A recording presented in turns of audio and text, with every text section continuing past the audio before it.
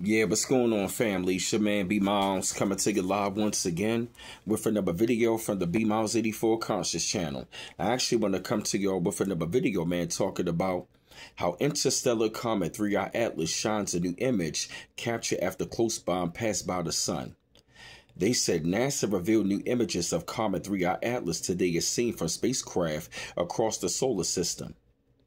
They said astronomer Gianluca Masi captured a spectacular image of interstellar comet 3i Atlas on November the 19th as it raced headlong away from the sun, following the close pass of our parent star on October the 29th, an event known as perihelion.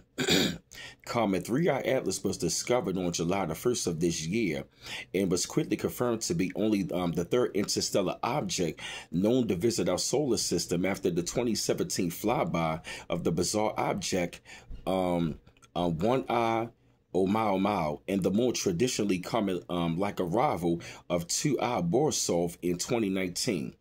They said NASA will release new images of interstellar comet 3i Atlas that were collected by a number of agencies' missions during the press conference to, um, press conference yesterday at 3 o'clock p.m. Eastern Standard Time, which you can actually see on courtesy of NASA.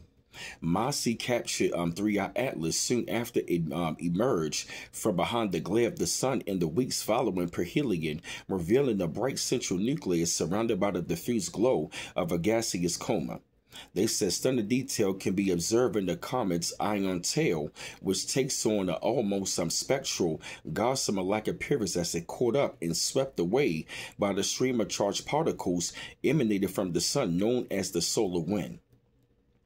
They said if you're hoping to see the comet through a telescope, you may want to consider um, this um, Celestron um, Astro F1 uh, 130 millimeters, you know what I'm saying, which is on the website. They said right here, they said Amasi also says the image. They said Dalmasi said the image is the result of combining 11 individual 120 second exposures taken with a 10 inch um, tele, um, telescope equipped with a um, state of the art astronomy camera located at the Virtual Telescope Projects facility in Massione. Um, I'm sorry, yeah, um, in uh, Massiono, Italy. The observations were made during a free public live stream under the good um, um, um under the good um astroperic um, favorite conditions as the comet traveled through the stars on the tele, um, constellation Virgo in the early hours of November the 19th.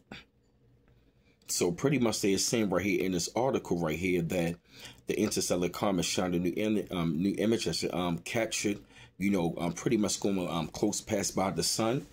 so you definitely want to pay attention. But I had to come to y'all with this video, man. Spread thoughts up on this shit. Light up on the situation.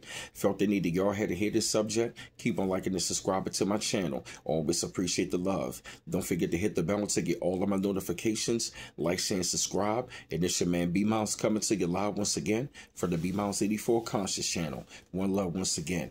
Peace.